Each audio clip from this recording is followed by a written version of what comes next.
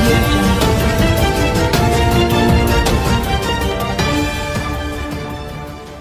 అసమైన అసమైన మాటలు మాట్లాడుతూ మా వైపు రాళ్ళు తీసుకుంటూ ఆడతారని కొడుకుని జుట్టు తీసుకుని ఎవరైనా ఆటలోంచి లాగేసి పిచ్చి పిచ్చిగా పిచ్చి పచ్చి బూతులు మాట్లాడారు. ఈ రోజు ఒకటి అడుగుతున్న వైఎస్ఆర్సీపీ వాళ్ళు మేము చాలా దారుణంగా కొట్టినాం. ఈ ప్రభుత్వం వెంటనే మాకు సమాధానం చెప్పాలి. మా నాయకుడికి క్షమా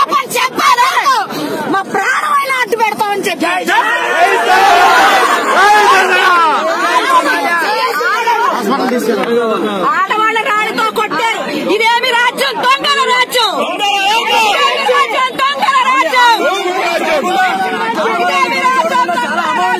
దారుణంగా కర్రలతో కొట్టి రాళ్ళతో కొట్టి ఇవ్వండి ఈవిని రాళ్ళతో కొట్టేశారు మేడం గారు కర్రలతో కొట్టేశారు ఇలాగే ఆందోళన చేస్తున్నాం. కూడా కర్రలతో మా దగ్గర వీడియో కూడా ఉన్నాయి. రౌడీ ఎవరెవరైతే మా మీద రాళ్ళు వేశారో పోలీసులు దానికి సహకరించారు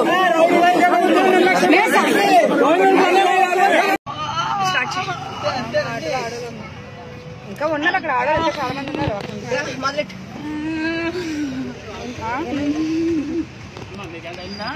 అందరినీ కొట్టారండి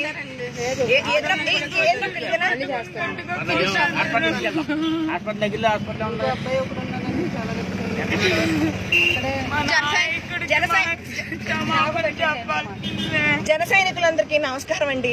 నిన్న మన చంద్రశేఖర్ గారు మాట్లాడినారు మేము ధర్నా కోసమని వస్తే ఆయన ఇంటికాడ ఆడోళ్ళని కూడా చూడకుండా ఇంటి దగ్గర పోలీసులు పెట్టి ఆడోళ్ళని కొట్టించి మమ్మల్ని ఈ రకంగా బట్టలు లాగి అసహ్యమైన మాటలతో అండ్ ఆడోళ్ళని కూడా చూడుకోకుండా మహిళా నాయకురాలు ఎలా పడినా అలా ఈడ్చి కొట్టి ఎంత బూతులు పదజాలంతో మాట్లాడారంటే నిజంగా సభ్యతకి సిగ్గుపడుతున్నాం. మేము ఈ రోజు ఎందుకు ఇలా బయటకు వచ్చామో కూడా తెలియకుండా ఎదవల చేతిలో దెబ్బలు తిరగని పరిస్థితి వచ్చింది. మాకే సిగ్గుచేటుగా ఉంది.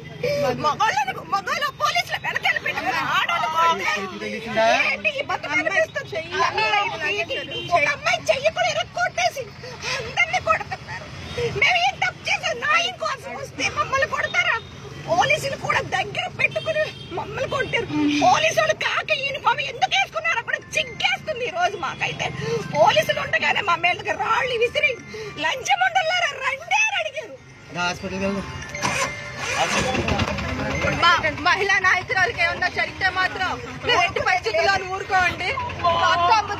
చంద్రశేఖర్ రెడ్డి గారికి ఇలా చెప్తున్నాము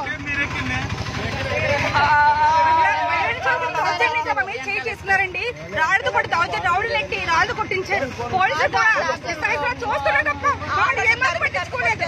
పోలీసులు కూడా వాళ్ళకి రౌడీ సపోర్ట్ చేసి మమ్మల్ని దౌర్జన్యం కొట్టి హింసించారండి. చాలా దారుణం అండి. మరి ఇటువంటి మరి ఎక్కడ సినిమాల్లో చూసాం కానీ మేము ఇక్కడైతే మరి చాలా దారుణంగా మహిళలను కూడా చూడకుండా పెద్ద పెద్ద రాళ్ళు పెద్ద పెద్ద పెద్ద పుల్ల ముక్కలు. రాడ్లు కూడా కాదు అది మరి ఇక్కడ? మరి ఈ కాకినాడ పట్టణంలో మరి అతను ఎమ్మెల్యేగా కొనసాగనందుకు కుదరదని మేము మహిళలందరం కూడా తీవ్రంగా ఖండిస్తున్నామండి. గౌరవనీయులైన హోమ్ మినిస్టర్ గారు మీరు ఒక మహిళ ఈ రోజున మహిళ అయి ఉండి మీరు అన్నారు, దిశ చట్టాన్ని తీసుకొస్తానన్నారు. మీ నాయకులు మమ్మల్ని మహిళలు ఎలా కొట్టారో చూడండి. కొట్టాడు ఈ వైఎస్ఆర్సీపీ నాయకులకి ఎంత దౌర్భాగ్యంగా చేస్తున్నారంటే అంత ఇంకా చేస్తున్నారు మన వాళ్ళు ఇక్కడే ఉన్నారు ఏంటండి? వీడియో నచ్చిందా? అయితే ఓ లైక్ వేసుకోండి. లేదంటే ఓ కామెంట్ చేయండి. ఎప్పటికప్పుడు మా వీడియోస్ చూడాలంటే సబ్స్క్రైబ్ చేసుకోండి.